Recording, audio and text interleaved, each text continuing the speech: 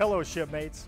As I assume the duties of MCPON, I wanted to thank my predecessor, MCPON Rick West, for the unwavering commitment and leadership he provided to our sailors and Navy during his nearly 32 years of service. He's been a mentor and a friend, and I wish him and his wife Bobbi all the best. I've been asked, what are my expectations as the MCPON? The answer is simple.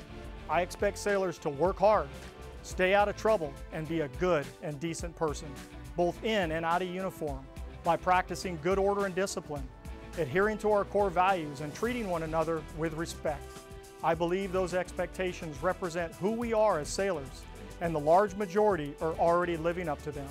I look forward to working together and continuing to make our Navy the greatest Navy in the world. Thank you for your service. I'll see you in the fleet.